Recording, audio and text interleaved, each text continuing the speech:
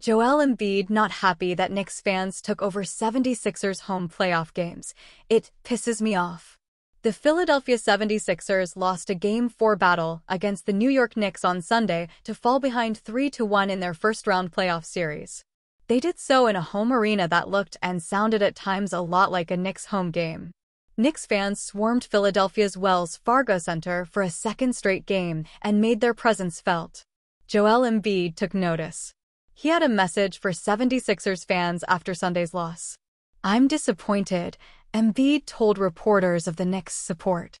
I love our fans. I think it's unfortunate. I'm not calling them out. It is disappointing. Obviously, you've got a lot of Knicks fans. They're down the road. I've never seen it, and I've been here for 10 years.